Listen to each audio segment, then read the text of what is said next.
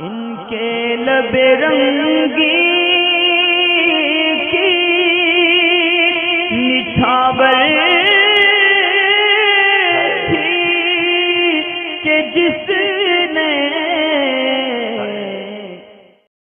ایک بھائی کا سوال ہے اور ان کا نام تھوڑا عجیب ہے، اس لیے نام مجھے سمجھ میں نہیں آ رہا کہ کیا ہے ان کی میل آئی ڈی پہ جو لکھا ہوا تھا۔ وہ یہ پوچھتے ہیں کہ غسل کی کتنی قسمیں ہیں اور اگر غسل خانے میں غسل سے فارغ ہونے کے بعد اگر کوئی شخص پیشاب کر لے تو کیا اس کو پھر سے غسل کرنا ہوگا؟ ٹھیک اسی طریقے سے ایک دو سوال اور بھی ہیں جو اسی سے ریلیٹڈ ہیں کہ جس پہ دو غسل واجب ہوں یا جس پہ کئی غسل واجب ہوں تو وہ کس طریقے سے غسل کرے؟ کچھ ایسی کنفیوژن عوام میں رہتی ہے کہ غسل کے جو الگ الگ طریقے ہیں، حیض کا غسل کیسا؟ تو اس سے ریلیٹڈ جتنے بھی سوال ہیں وہ مجموعہ ان کا جواب سن لیں۔ سبھی لوگ جن جن کے سوال تھے۔ کہ دراصل جس پہ ایک غسل واجب ہو یا دس قسم کے غسل واجب ہوں، تو اس میں الگ الگ غسل کرنے کی کوئی ضرورت نہیں ہوتی، بلکہ ایک بار غسل کرنا ان سب کے لیے کفایت کرتا ہے۔ دوسرا یہ کہ ہمارے نزدیک احناف میں وضو اور غسل کے اندر نیت کوئی شرط نہیں ہے کہ الگ الگ معاملے کی الگ نیت کی جائے تو وہ غسل اترے گا۔ بعض لوگوں کے اندر یہ مبالغہ رہتا ہے کہ ہم نے جو ہے جنابت کے غسل کی نیت کی ہے۔ تو ہمارا وہی غسل ادا ہوا۔ ابھی کسی کے ذہن میں یہ رہتا ہے کہ ہم نے ہم بستری کی نیت کی غسل نہیں کی تھی تو ہمارا وہ غسل پتہ نہیں ادا ہوا، نہیں ہوا۔ تو ایسا کچھ نہیں ہے۔ غسل کے بارے میں تو میں پہلے بھی ایک ویڈیو بنا چکا ہوں کہ غسل کا شارٹ طریقہ کیا ہے۔ اگر بس اس طریقے سے غسل کر لیا جائے تو بھی غسل ہو جائے گا۔ ورنہ یہ کہ جو آپ کو غسل کا طریقہ آتا ہے یعنی وہی کہ پہلے آدھے دھڑ کو دھونا گٹوں تک ہاتھ دھونا، پھر نماز کا سا وضو کرنا، پھر تین گندے پہ سیدھی طرف، الٹی طرف، پھر سر سے، بس وہی ایک طریقہ ہے۔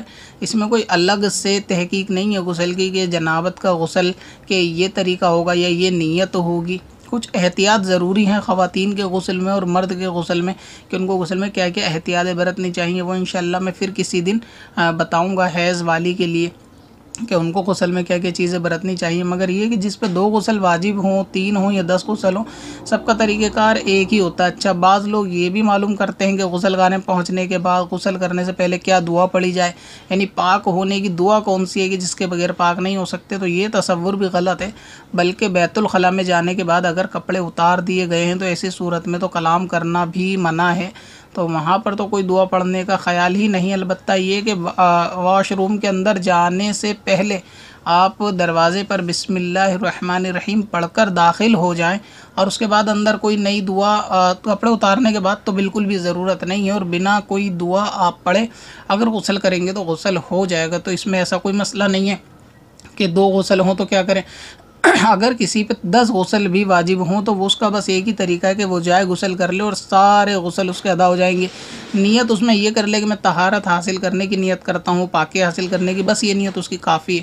ایسی کوئی بات نہیں کہ اس کے حیض والی کا غسل کوئی طریقہ الگ ہے اور بستری جمعہ والے کے غسل کا کوئی طریقہ الگ ہے۔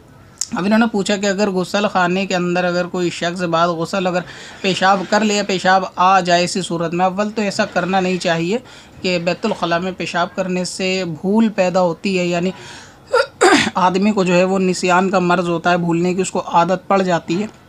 لیکن اگر کوئی اس طرح کر لے گا کہ بیت الخلاء کے اندر اگر کوئی پیشاب کر لے تو اس کا غسل اس سے نہیں ٹوٹے گا، بلکہ اس کا وضو چلا جائے گا۔ اس کو چاہیے کہ بعد پیشاب کے فارغ ہونے کے وہ نیا وضو کر لے اور اس کا غسل برقرار رہے گا، وضو پھر دوبارہ کرنے سے دوبارہ برقرار ہو جائے گا۔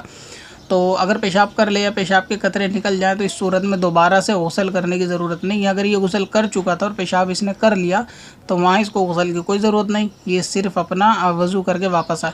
کچھ لوگ یہ بھی اس کے اندر سوال کرتے ہیں، میں اس کا بھی جواب دے دوں کہ اگر کسی نے بنا کپڑوں کے بیت الخلاء کے اندر غسل کیا تو کیا بنا کپڑوں ہی کے وضو ہو جائے گا یا کپڑے پہننے کے بعد پھر کریں گے؟ تو اس کے لیے بھی میں پہلے سے ایک ویڈیو بنا چکا ہوں۔ اگر آپ چینل کی پلے لسٹ میں چیک کریں گے، طہارت کی ایک الگ سے پلے لسٹ بنی ہوئی ہے پاکی ناپاکی کی، تو اس کے اندر یہ ساری ویڈیو آپ کو مل جائیں گی کہ کپڑے اتارنے کے بعد جب غسل کیا جائے گا، تو اسی صورت میں اس کا غسل وضو دونوں ہو جائیں گے۔ کپڑے پہننے کے بعد دوبارہ وضو کی ضرورت نہیں۔ ٹھیک، اسی طرح اگر کسی نے غسل کیا اور ناپاکی یعنی بنا کپڑوں کے جو جسم اپنا اس نے دیکھ لیا اور اسی طرح اس نے وضو بھی کر لیا، تو اس کے وضو پہ بھی کوئی فرق نہیں آئے گا۔ وہ واپس کپڑے پہن کے اسی وضو سے قرآن پاک بھی پڑھ سکتا ہے، نماز بھی پڑھ سکتا ہے، دیگر عبادات الہی بھی اس سے کر سکتا ہے، اس میں کوئی حرض نہیں ہوتا۔ تو یہ سب باتیں ہیں کہ غسل کے تعلق سے کہ جو عوام کو غالباً معلوم نہیں ہوتی، تو ان کا سیکھنا بہت زیادہ ضروری ہے۔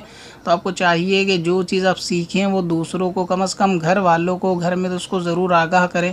کہ پاکی آدھا ایمان ہے اور پاک پاکی کے مسائل سیکھنا تو ہر مسلمان مکلف پر یہ فرض ہیں۔ لہٰذا یہ چیزیں آنی چاہیے کہ وضو اور غسل کے کیا کیا طریقے ہیں ان کی کیا کیا احتیاطیں ہیں، ان میں کیا کیا غلط فہمیاں ہیں۔